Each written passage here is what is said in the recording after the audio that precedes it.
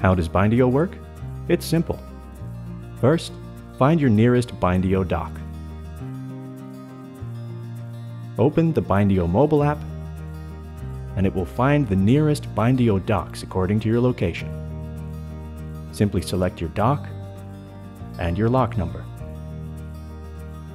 Then press the lock button and the dock will activate. Grab the chain and pass it through the frame and wheel of your bike.